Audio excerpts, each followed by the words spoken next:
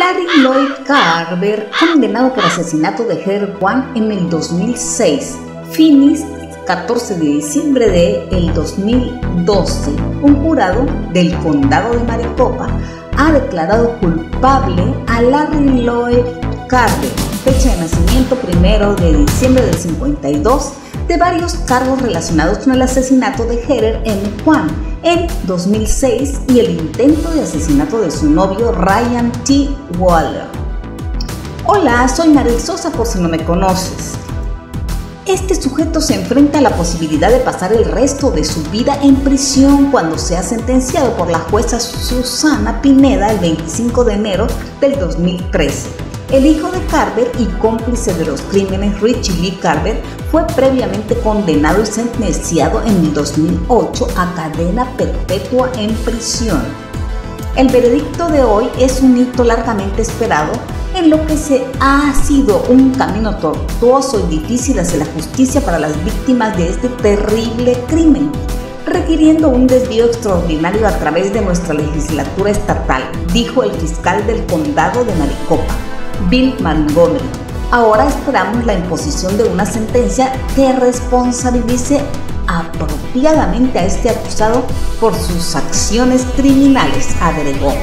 El 23 de diciembre de 2006, Larry Carver y su hijo Richie fueron a la casa de Ryan Waller en busca de venganza por un presunto altercado. Mientras los Carver intentaban abrirse paso por la puerta de la residencia, Richie Carver metió el brazo dentro y le disparó al señor Waller en la cabeza, dejándolo por muerto.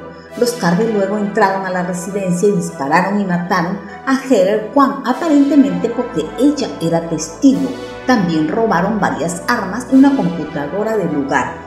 Cuando llegaron los oficiales del Departamento de Policía de Phoenix, encontraron a Waller aún consciente.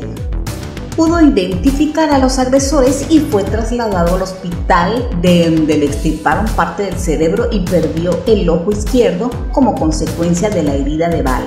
Los detectives se enteraron más tarde de que Richie Carven era un ex compañero de habitación de Waller. Richie Carver fue condenado en junio de 2008 por delito grave de asesinato, robo, asalto con agravantes y mala conducta con armas y condenado a una pena de vida natural.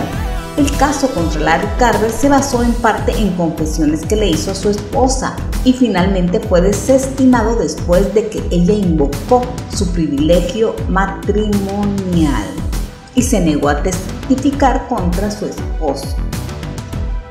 La familia de Heather One luego apeló a la legislatura para que promulgara lo que se conoció como la ley de Heather, que enmendó el estatuto de privilegio matrimonial para obligar al cónyuge del acusado a testificar después de una batalla legal sobre si la ley podría aplicarse retroactivamente al caso de Larry Carver, el tribunal falló a favor del Estado y Carmen fue reindicado en noviembre del 2011 por asesinato en primer grado.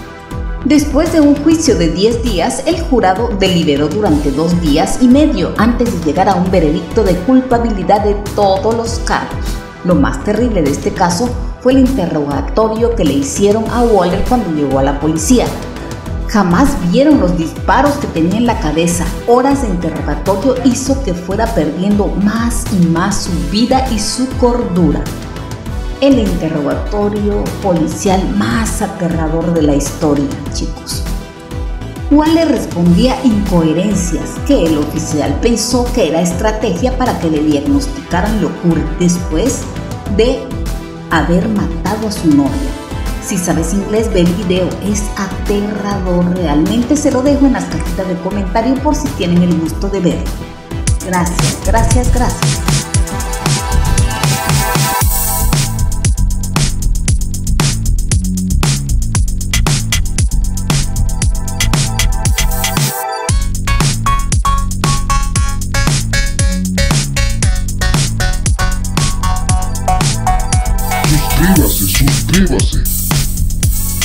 Esto fue El Mundo.